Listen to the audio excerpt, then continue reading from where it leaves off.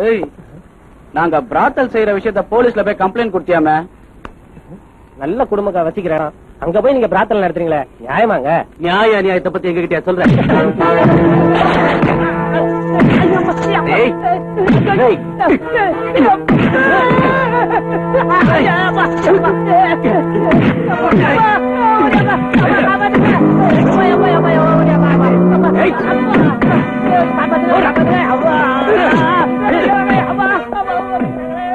Sir நீங்க ஒரு போலீஸ்கார் தானே?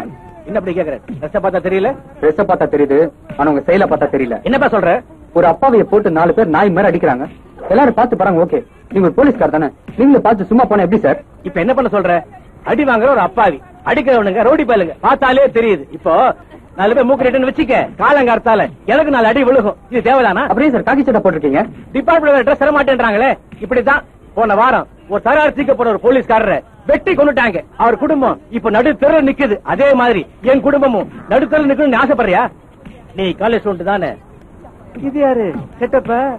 பேசாம தள்ளிக்கிட்டு போவியா? வீண் பேச்சு பேசிக்கிட்டு.